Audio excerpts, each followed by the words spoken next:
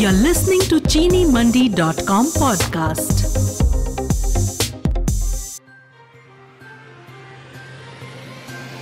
Central government is confident of achieving the target of 20% ethanol blending by 2025. Indian sugar industry fearful on collapse of domestic sugar prices. India's National Sugar Institute succeed in producing vanillin from bagasse. Sugar Ministry assures of reviving Mysugar Factory. Nepal government warns trader not to create artificial shortage of sugar. NFCSF demands incentive to sugar mills for ethanol production. Sugarcane farmers protest over delay in cane payment in Thanjavur.